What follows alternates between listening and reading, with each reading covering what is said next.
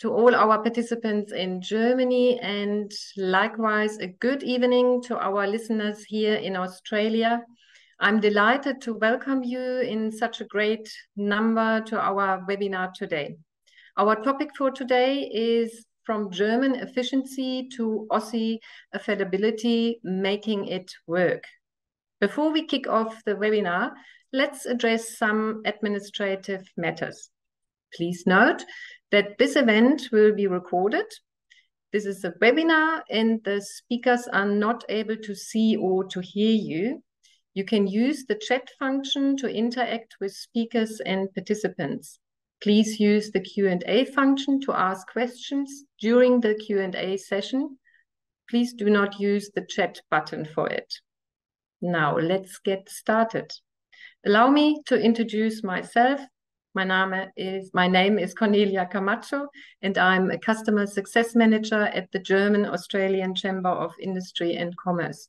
We primarily assist German companies with any questions related to doing business down under and provide a wide range of services in this regard. Our services can be categorized in the three main pillars. The first pillar encompasses all aspects of the market entry.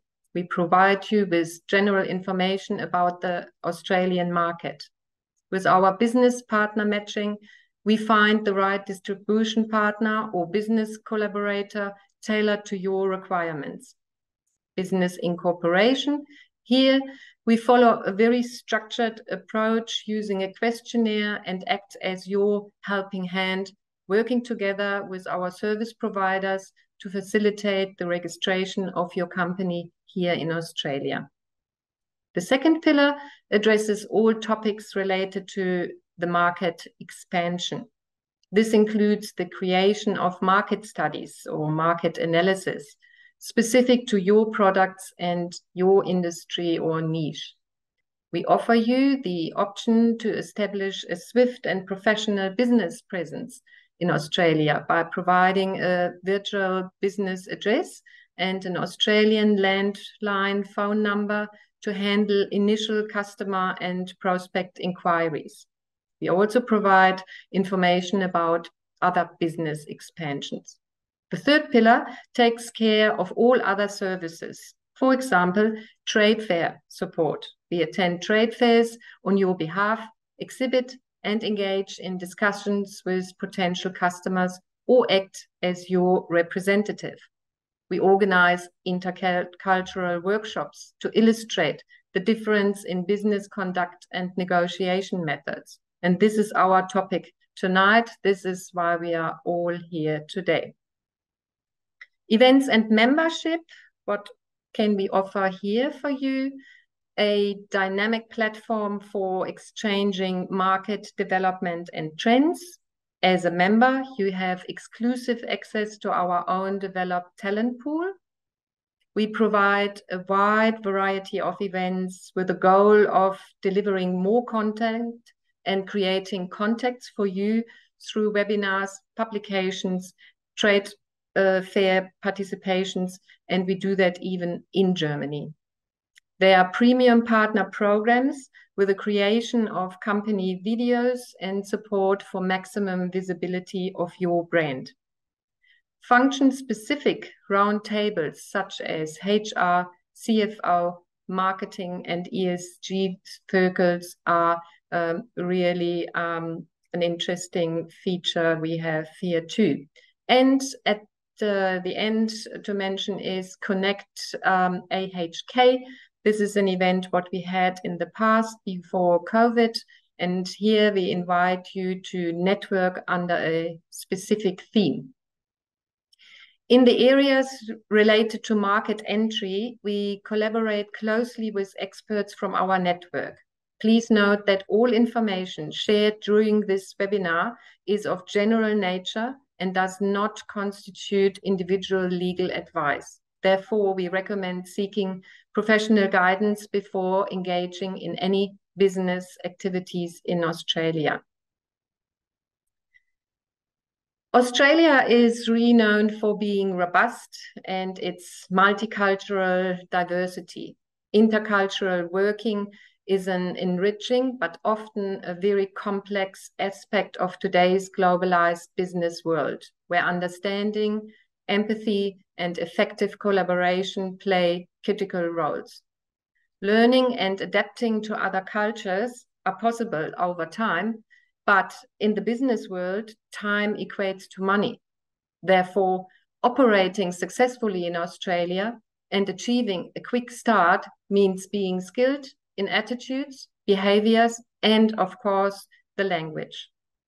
I'm always curious and passionate about how the Chamber can assist in your business endeavors in Australia and vice versa.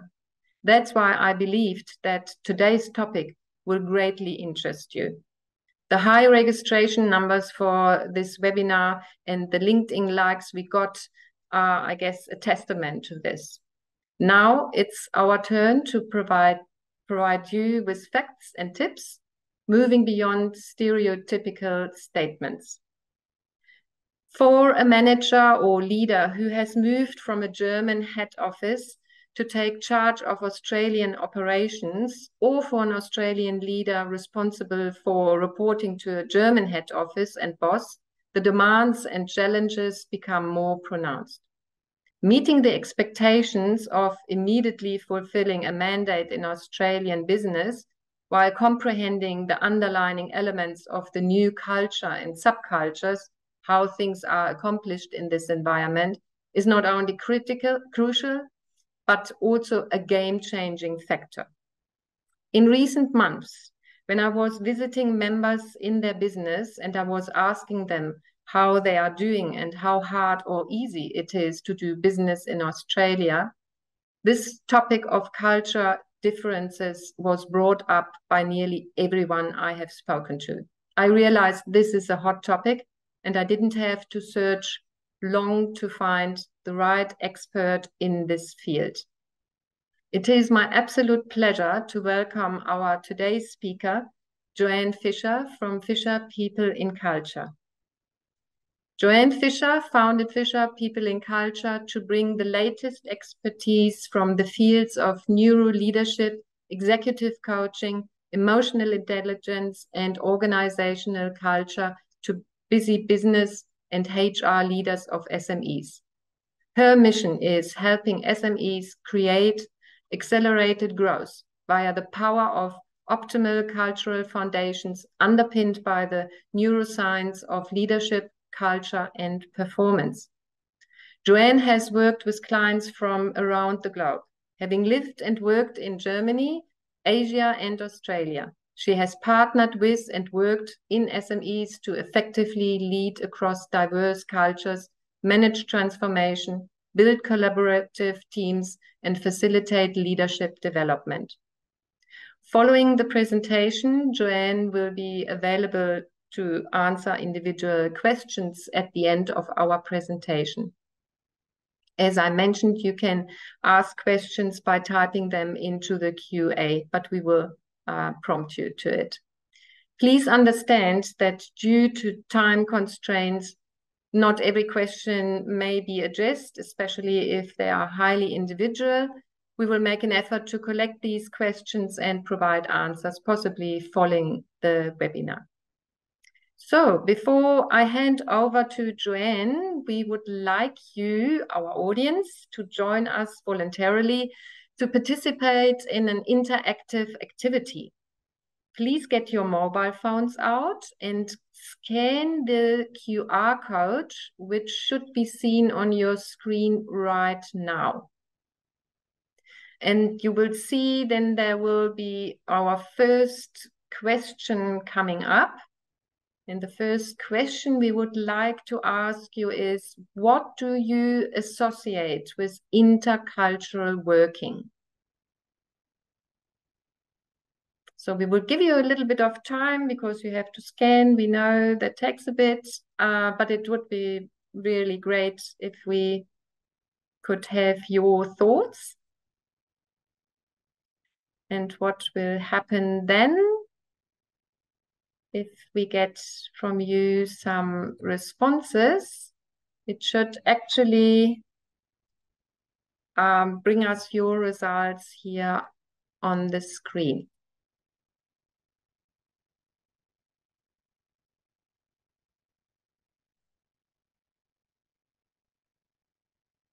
Yeah, and it has worked. Fantastic.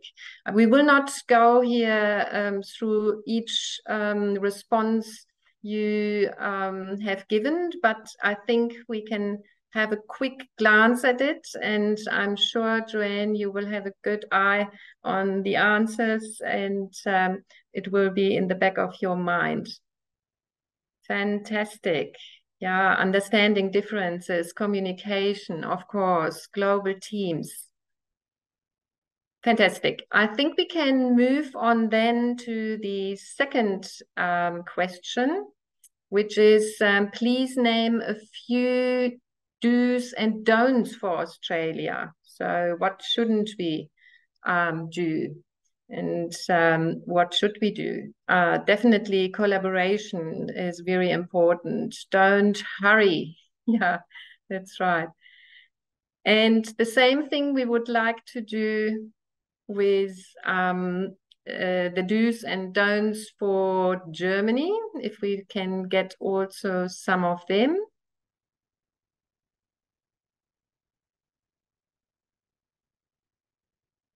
People are surely writing. And you can even write them in German, not a problem. problem. Informality, definitely. Do not be late. Yes, that's exactly what it is.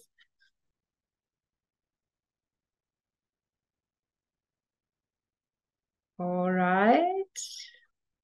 We don't have to stress it, I guess. And we just continue, Joanne. I believe these answers are giving you a good overview and insight where the audience is with their knowledge of cultural differences.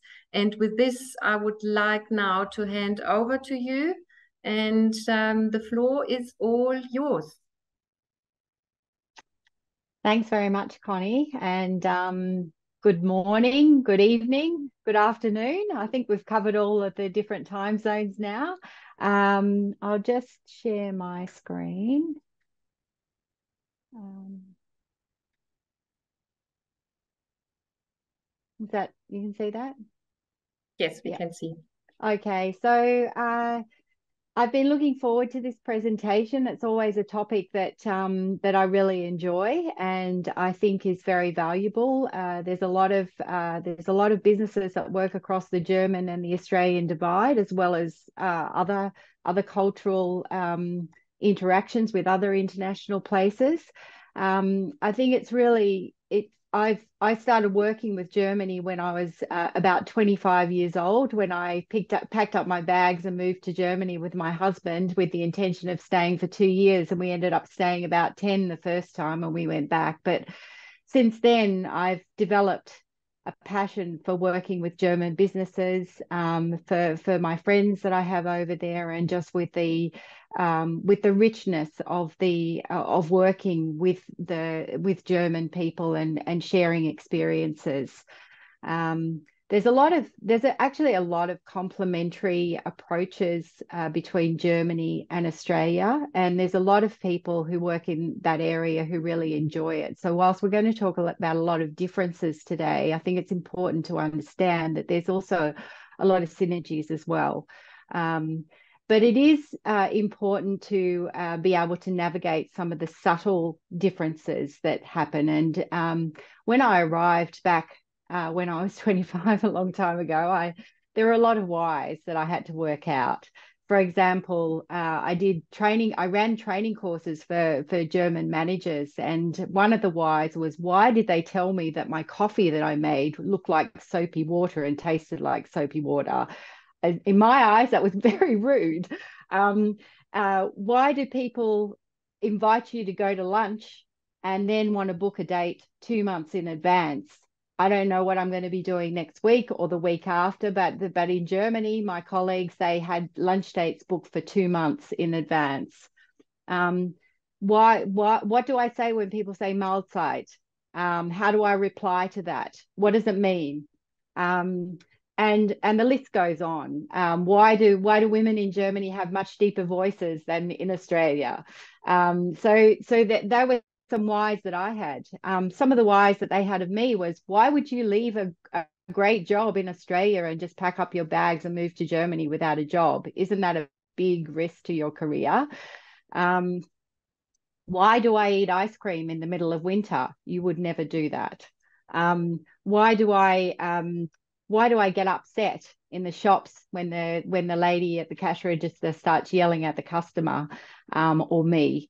Um, so there were there were there were some whys that I had to deal with, but I think what I learned was that um, that that the the picture is bigger than that, and we need to uh, sort of move away from stereotypes and really have a very open mind to understanding culture. So with that, I just want to um, take you through my presentation. Right. So, so what we're going to cover today is first of all, I want to just give you a little bit of perspective on Germany and Australia and where we're coming from. Then I want to look at what is culture and why is it why is it everybody's business when it comes to business success. Then we're going to talk a little bit about the German Australian leadership path. And I'm going to give you a model, one of many models for us to try and get a lens around or a framework around navigating those differences. And then, last of all, I want to share some real life insights from some of the managers that I've worked with in Australia, both German managers who have come here to lead a business or Australian managers who are leading a German business in Australia about what some of these differences look like on the ground and how they navigate them. So we've got a lot to cover, but let's get into it. Um, so, so basically, you know, Germany and Australia. In Germany, everybody lives in uh, Bavaria and goes to Oktoberfest, right? and in Australia, everyone hangs out on Bondi Beach. Um, if we talk about stereotypes, they're the types of stories that we hear, but we all know that it's it's bigger than that. Um, if you look at if you look at the first big difference between Germany and Australia is that we're worlds apart. You know, we're a long way away from from one another, and the size of Germany and the size of Australia is very different.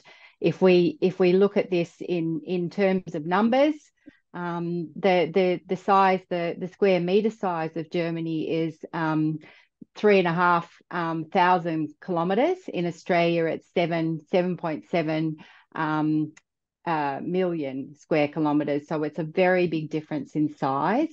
And there's an inverse relationship with the population. You'll see that um, Germany is a lot more densely populated than Australia. Um, the GDP, there's a lot of difference in the in the size of the GDP between us between Germany, which is um, ranked third, and Australia ranked 14th.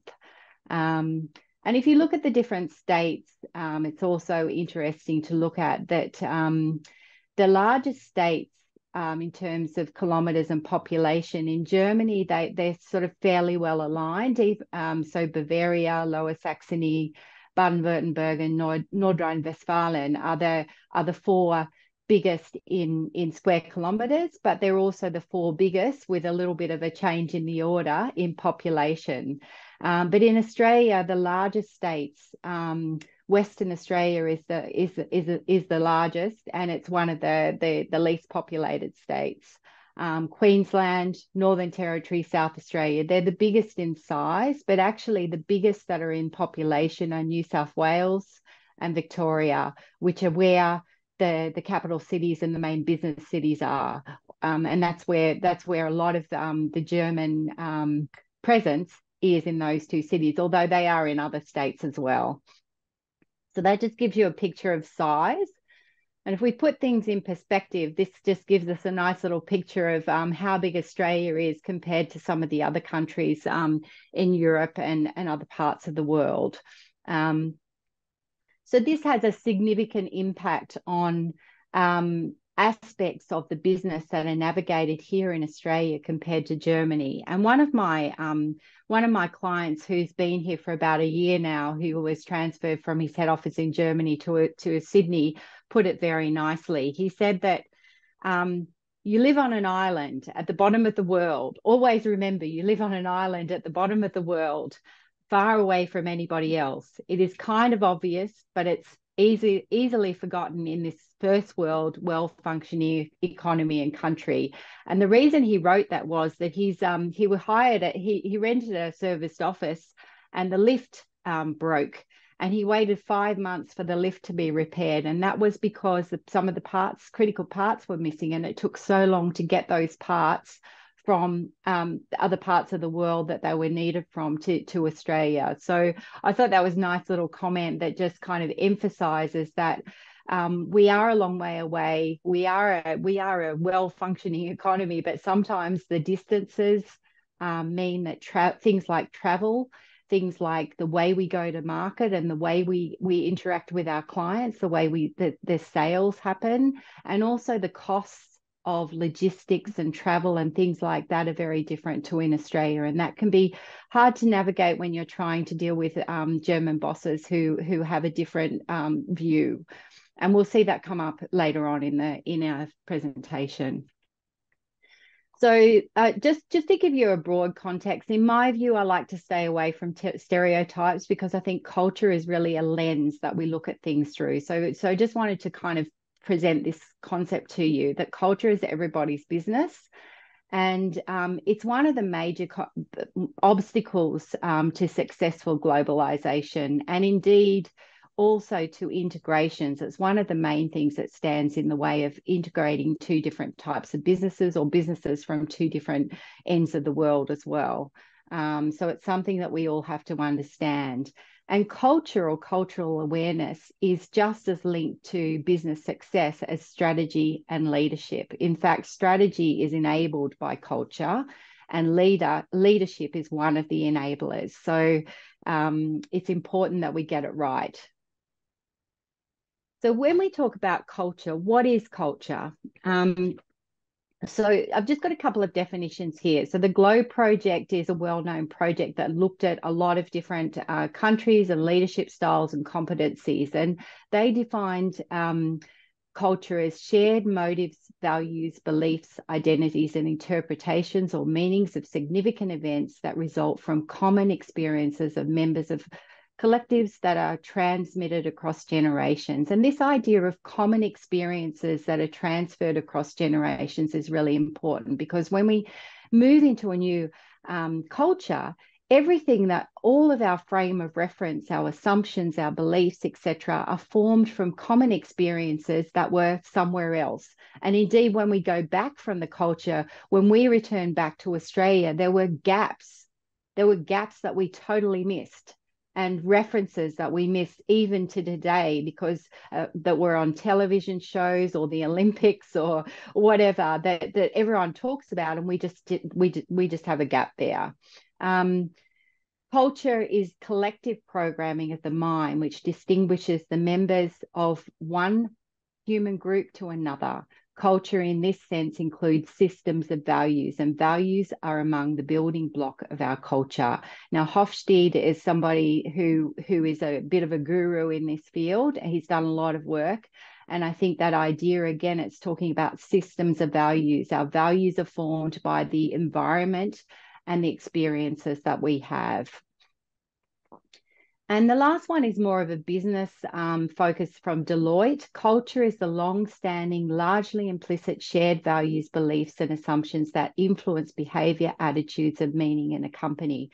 Now, I think what's really important here is the idea of implicit because because we don't go around and identify what what what um, apart from stereotypical what is actually our culture cultural um, uh, ways, and we we're not often conscious about them in our day to day work. Um, so it's a lot of the time what happens is that um, the most insightful cultural ob- observers are often outsiders and indeed what i found when i went to when i went and lived in different cultures is that i learned a lot more about myself when i was in the different cultures because it was like holding up a mirror when you're in your same environment, you don't notice as a, it as much. But when you are dealing with different people in different environment with different beliefs and values, etc., you really start to understand what's important to yourself and the way you behave. Um, culture influences how people behave and how people understand their own actions. This is important as well, is about whenever we land in a business or we land in a country and we're dealing with other people, it's really important for us to understand how we're choosing to behave and what is the impact of our behavior on others. How are they? How are they uh, receiving our behavior and interpreting it? Um, and what impact is it having on them? And the last thing is culture is resilience. Its elements are long-standing, not a matter of fads. And you would you would probably understand that a lot of the way you do things are ingrained. And we we we we they especially when we're under stress, we go back to the things that that really are part of our DNA and part of our part of our culture and part of the way we we we're used to behaving. So, so humans are driven by a shared culture and individual personalities. And this is another point that I want to make is that when we talk about culture, we often talk about the German culture or the Australian culture, but there are many layers. So there are individuals' personalities. There are also individuals' um, individual's own culture, how they work within their culture. There's also then the the family or the the community culture. And then there's also the organization culture or the team culture. So we have layers of culture, and it's really important. Um, you know, I'm not going to be the same as my husband or my friend. We're, we're all different, but we are all Australians, and we need to recognize that there's just not one size fits all. Um, so the implications of this is as leaders and managers, we need to take the time to take more notice of what we think and do in different situations, understand why we do things the way we do and why others do things the way they do. Um, notice our own hidden biases. Um, be curious and have an open mindset when engaging with others. Notice the impact of what we say and what we do on others around us and challenge our own assumptions. And, and as somebody in a different culture, we're very able to do that if we keep an open mind and we, we keep a curious mind. And that way we will learn a lot about the other culture and also about ourselves and become more effective. So um, I also, I'm not going to go too much into theory, but I did want to give you a few little frameworks to help us to, uh, you know, talk about some of these concepts. Um, you all probably would have heard of the iceberg model, which was first coined by Edward Hall in 1976. Um, he suggested that culture is analogous to an iceberg and that only 10% of the iceberg is visible at any given time, and a large part is hidden beneath the surface. And the same actually goes for organizational culture. So when we join a new organization, um, when we when we so for example an australian person joining a german organization here in australia what they see is the goals the vision the structure the policies the same as a german um, a german expat coming to australia and and leading the business here they they will have a view of all these kind of um, visible, observable words and actions, which are apparent to to to anyone who observes them, and that's that's great. But there's actually a whole lot of stuff that happens below the surface, um, which is about the way not the way we say we do things, but the way we really do things, how we get things done. And that's to do with things like um, uh, you know, the, unab- the things that aren't observable are how we feel the core values should be reflected in specific situations um, in our daily life, such as working or socializing. It's also around how we interpret how we interpret different situations based on what we've learned and and the things that influence um, uh, you know the formative factors are things around our education and the education system, the the, the um, our religion, the media, they're all the things that we've experienced as we're growing up, and and they sort of form um, all these unwritten values and beliefs and perceptions that will bring a lens to a situation that might be different to the people who are in that country.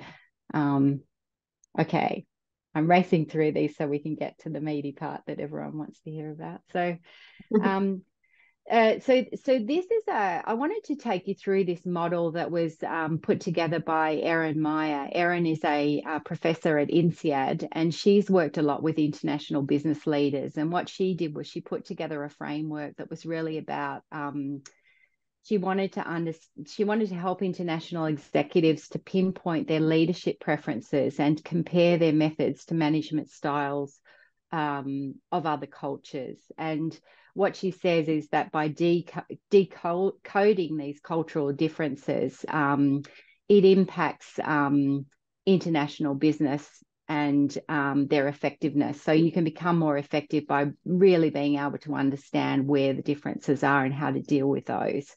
Um, so she came up with eight key dimensions of areas that managers should be aware of when trying to understand and get things done across cultures um, so that we can adapt and adjust our styles. So let's just take a look at these areas. Can you all see that? It's quite small, but um, we, we can see it. You can see it. Great. Mm. Okay. So I just want to take you through these areas, and you might just want to have a think about this because we're going to have a look where Germany and Australia sit. And we're also, I'd also like you to think about that when I take you through some real life examples of what others kind of have told me about their experience. So, so the first one is around communication, and we're going to talk a lot about communication in, in further down the track in this presentation. But the, the, what they talk about here is high context or low context communication. So the the idea is we we all of us all of the different cultures land somewhere on the continuum of these these these um, eight competency areas, and we want to see where where um, Australia and Germany land. Um, the thing to remember is that it's all relative. Um, it's relative to the country we're talking about. So, so let's talk at the first one is communicating.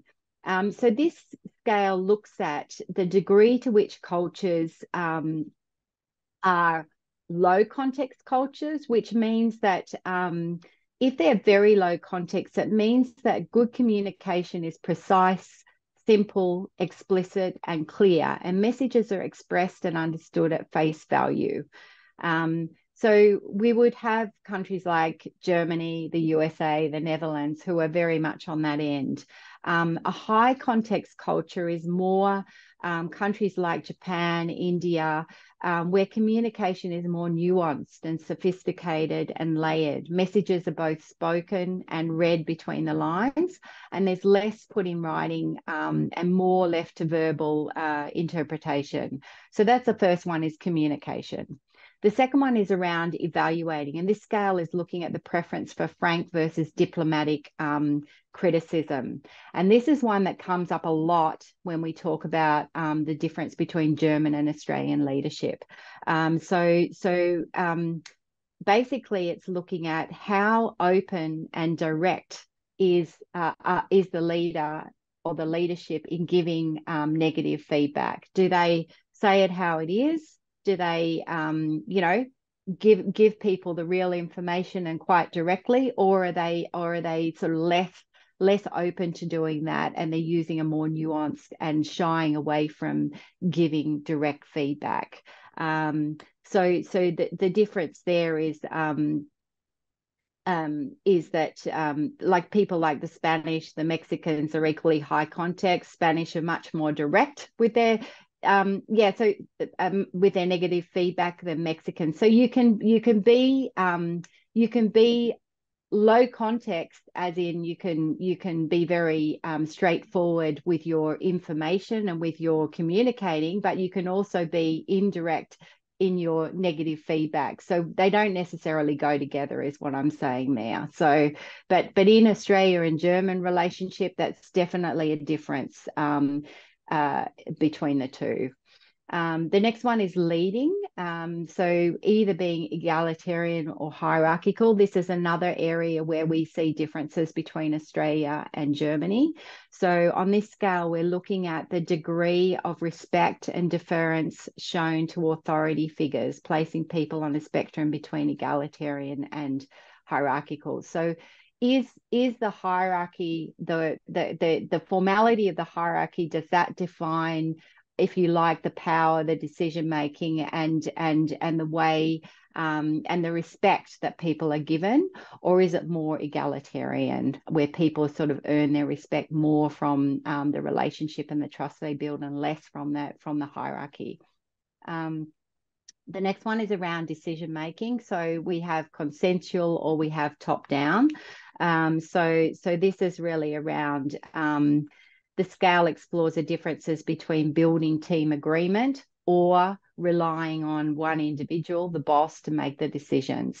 So there's there's two ends of the scale there on that one.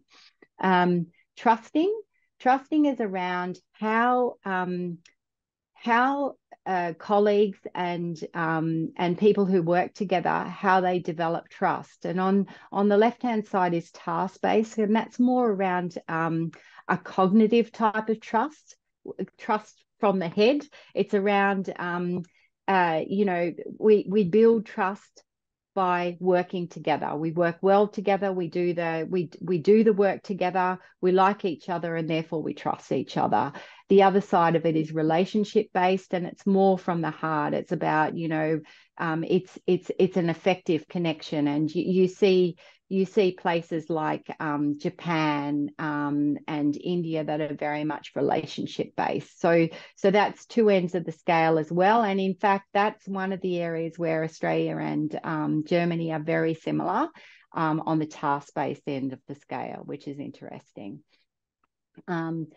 Disagreeing. So this is another area where we have um, differences coming out. Um, you know, is disagreement um, open, and um, do people feel comfortable uh, confronting one another and having a productive, open discussion that talks about difference, or do people avoid confrontation and see see uh, disagreement as something that's um, uncomfortable and something to be avoided.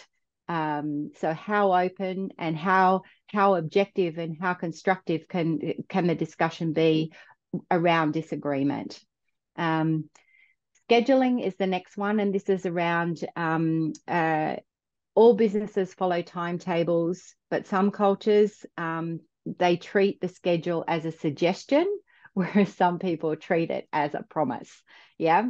And this is one that you will see coming up quite often when you talk about the differences between Australia and uh, Germany. So many of the people that I talk to, they um, they complain about this idea that Australia is that you you give some an Australian a deadline and they'll say and you'll ask them whether that's okay and they'll say, "Yep, no worries, she'll be right, we'll do that." And nine times out of ten, um, they they they perhaps don't meet that deadline. And this is something that's very frustration frustrating for German leaders, both here in Australia and in Germany, that um, they never quite know whether they're going to get what they say is going to be delivered and it's very different to the german approach. And it's actually some a reason why i love working with german companies because they're so structured and they do do what they say they're going to do. So um so that's one that's another area. And the last one is around persuading and this is around um how um how people the the the pattern i guess the how people go about um approaching a a problem. And um, persuading others. And in in in on the one end of the scale is principles per, first, and that's really more a deductive type of um, persuasion. And the other side is applications first, which is more an inductive or a sort of an iterative process. So, um, so, so the the deductive process is really um, principles first. It derives from conclusions or facts. It, it you, you first of all you look at um, general principles or concepts, and then you draw um, you draw conclusions from those from the facts. Whereas applications first is looking at general conc- conclusions are reached based on a pattern of factual observations from the real world. And this is an area which is very different between Australia and Germany as well. And this will come up again and again. And the thing is, is that we, but we, most people will use both of those um, forms of persuasion, but we have formed a habitual way that is more of our preference. And a lot of the time, that habitual way is formed from our education. um, background.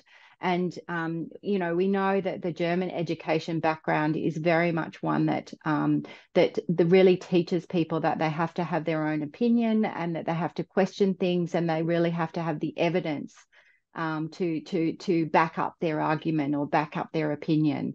And um, the the Australian um, education system is not as strong on that basis. It's depending on the discipline it is, but we're we're very much a you know have a go, get into it, and try try things and and adjust things as we go. So it is quite different. And um, I've actually experienced that. We've had two um, two students come and stay with us um, for six months at a time and go to school, and we've we've had lots of conversations around that and how it plays out. So so let's just have a quick look. How are we going for time? I think we need to go through this quickly. Let me just show you these areas that um, the differences are. So you'll see that the areas where there's a lot of differences in that hierarchical egalitarian area, um, where where Germans more sort of focus on the hierarchy and Australia egalitarian. Um, another big one is the principles first and the applications first, you'll see. And the other areas that tend to come up a lot are the disagreeing, the scheduling, and the um, you know the the evaluating the, the um, so so that's a very quick overview. I want to just go through some of the results that I got. Um, uh, I did a survey of um, a number of companies that I work with. Um, and uh, yeah yeah yeah you Jane you you mentioned it to me and and I wanted to pick up on that um, because you said you you did that I think um, please correct me if it's wrong but I think about 10 clients um, round about that. And you said I think they were mostly family businesses um, and so the, the smaller ones, um, surely, but there were 50% uh, Germans and um, 50% Australian participants um, in the leader management role or the senior management role. Is that correct? Can you give us That's some right. insights? Yeah, so I work with a lot of those hidden champions, uh, Mittelstand companies from Germany, who, um, you know, they're quite big globally uh, in in Germany and around the world, but they often have a small presence here. You know, they can be anywhere from twenty to two hundred or two hundred and fifty people. And um, basically, yeah, I just I just did a bit of a survey, um, and yeah, there was half expats, German managers who come to lead the business here in Australia, and half Australians who really who lead the business here in Australia and deal with Germany. So I just wanted to give you some insights about what does it look like on the ground, these cultural differences, how does it play out? So so we just run through these um, because I know we need to do questions as well. Um, so, so one of the key key areas was um, what were the key differences in leadership thinking and mindset, and um, a lot of people said that there was there there there was a lot of um, synergies between the leadership and mindset, but the areas that that where differences came out were things like um, uh, approaches uh, to risk, communication style, decision making, hierarchy and cultural inclusivity um, where where noticeable differences were.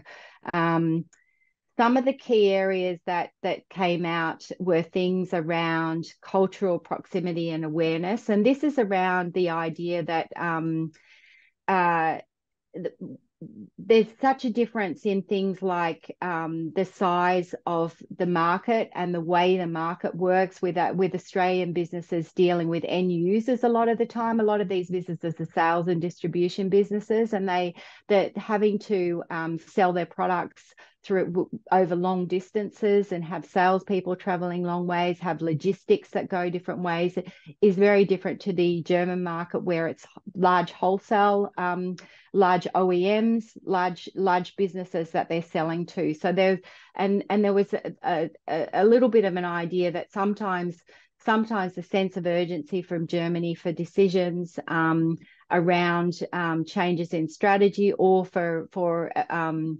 responses to things was was a little bit too far away.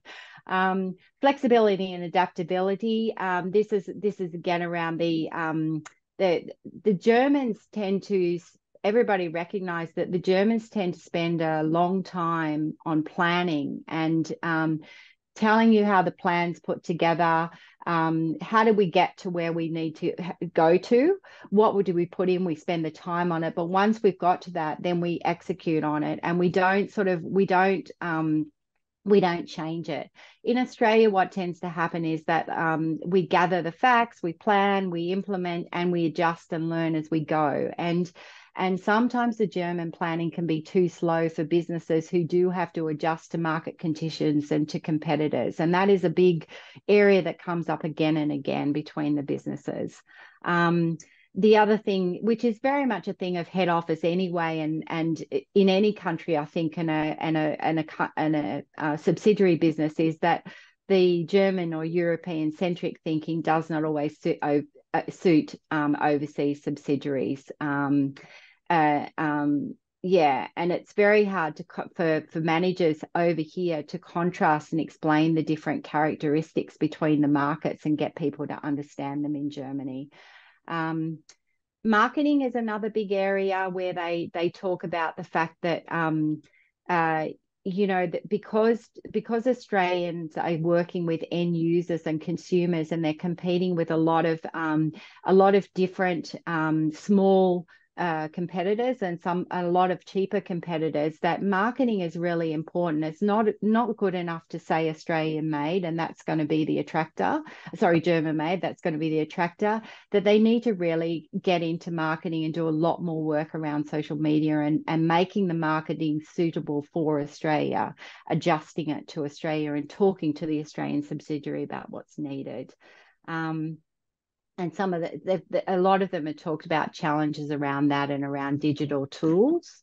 Um, decision making processes are also um, are, are also important. Um, so so again, it's around the Germans are proud of the process and the decisions that are made. Um, and, and it's important for the people sitting in the leaders sitting in Australia to to really sort of take notice and show that they've listened to the decision making process to really um, to really take the time then to um, think about their strategy and their response to that and to to explain and educate to the German um, head office about how they came to their strategy. We don't tend to do that as much. We tend to sort of focus on what we're doing and get on with it. And it's really important to have that two way of sharing, not just the what, but the why, and to to really understand that the leader is the middle person. They really need to, they, they're here to with them, they should have a mindset to represent the Australian business, but they also got to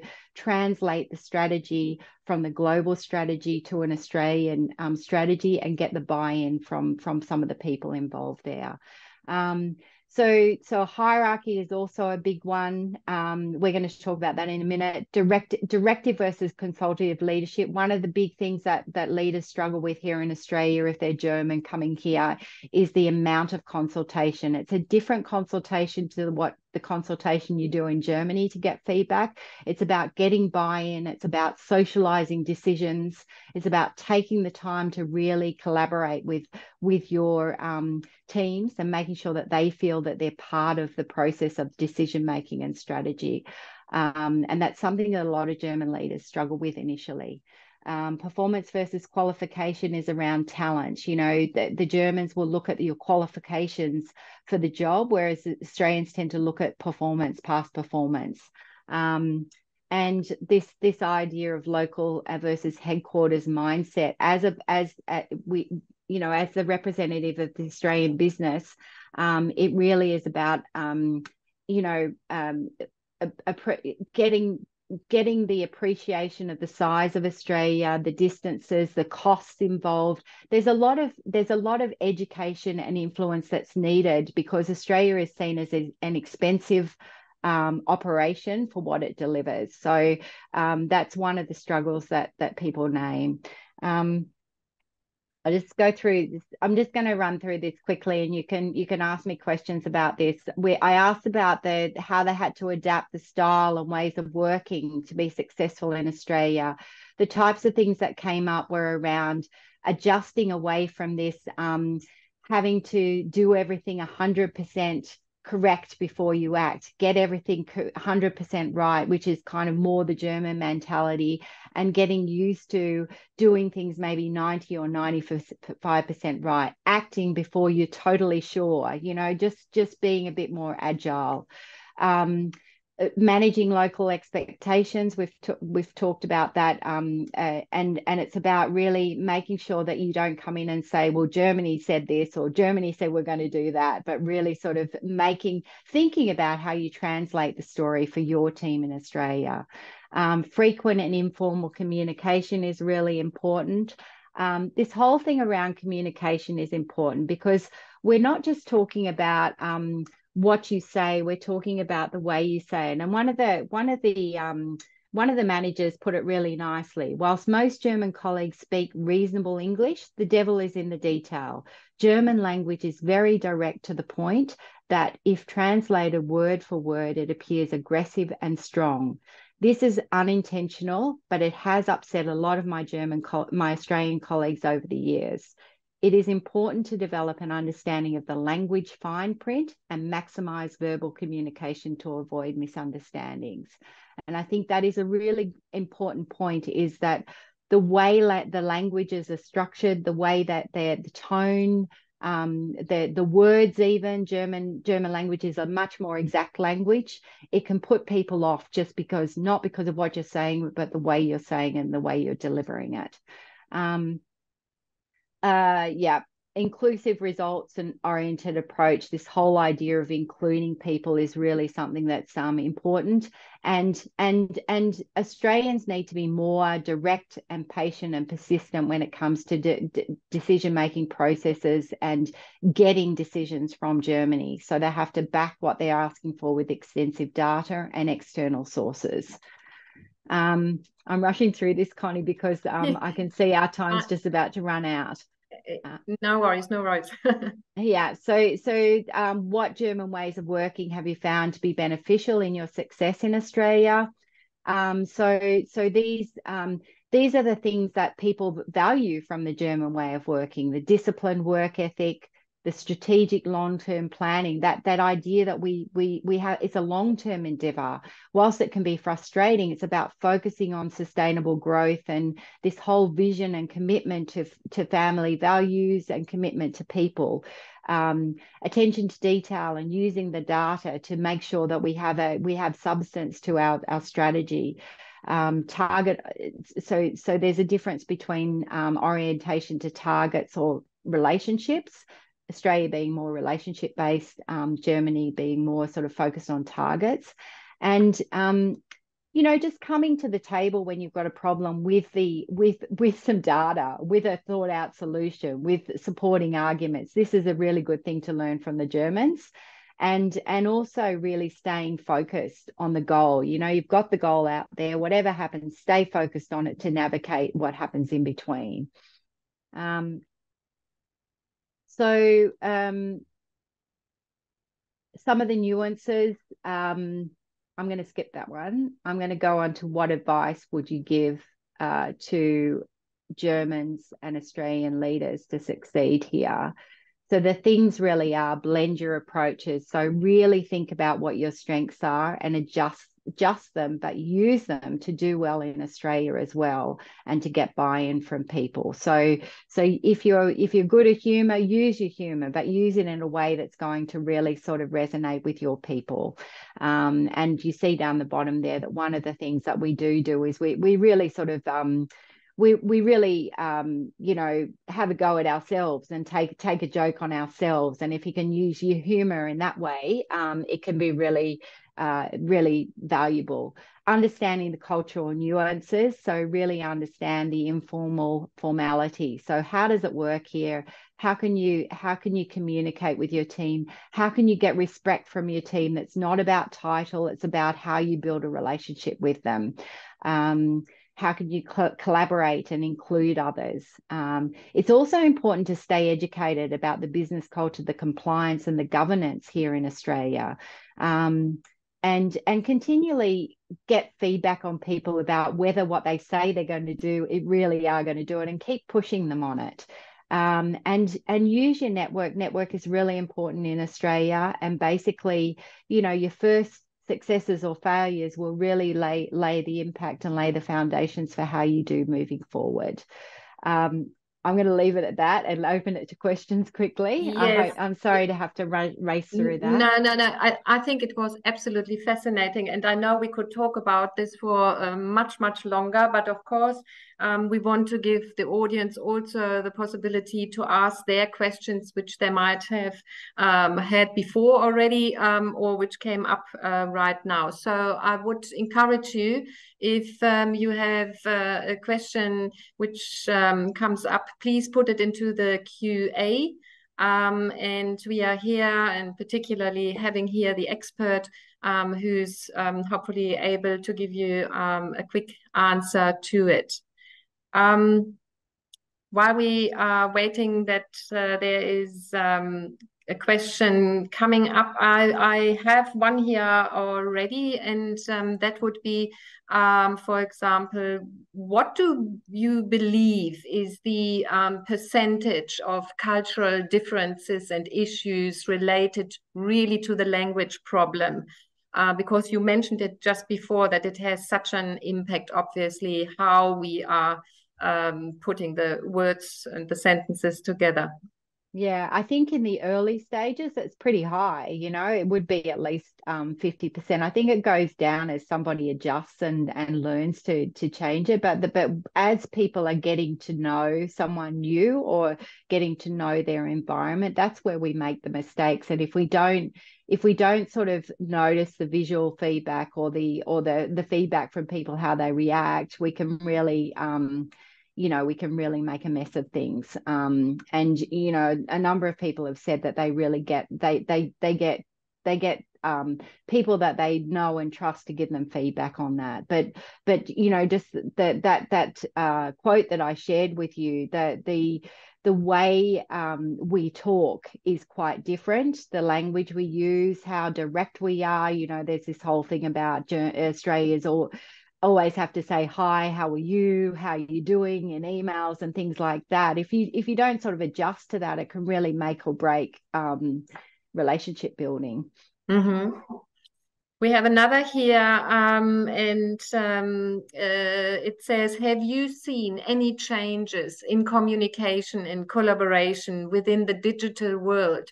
Distances become shorter traveling easier or is it not necessary anymore uh as in traveling is not necessary anymore i think i would understand that yeah mm. yeah i i believe that um you still need to have those personal connections. You could you the the things that you learn about people are not just what you see on screen or you hear. You really need to kind of get some context around it and really get a a feel for what goes on in the room and what goes on out of the room you know and yeah. you, and and those dynamics that we were talking at the bottom of the iceberg they're the things that you work out and you start to get a feel for when you're there in person. You have the official meetings and the unofficial meetings and it's really it's really critical. But perhaps we don't need to do it as much. We need to think about what the purpose is of our travel and what we can do online and what we need to do um, in person. Person, yeah.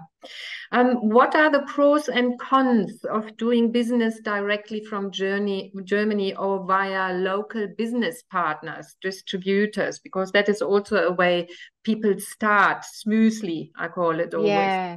I think a lot of a lot of businesses start with a distribution partner, and it needs to be one that you can trust. And um, a lot of people deal with exclusive business partners because the problem is if they're not exclusive, um, your products can get lost in a whole lot of other products. And the German products are they are high end most of the yeah. time and they are expensive and they need to be positioned well. So you need to educate uh, those distributors or partners really about what the value add is. And if if if they're selling a whole lot of other products and they have to make a lot more effort to sell the expensive ones and educate people they're not going to spend as much time on that. And i've seen that where um, German companies actually buy their distributor and they put somebody, one of their own employees in, and suddenly they start to realize, well, what what what was this person doing? You know, they were yeah. selling the the easy products and not the hard ones. You know, um, yeah. So, but I think you can do it with a distributor. You just got to find the right one.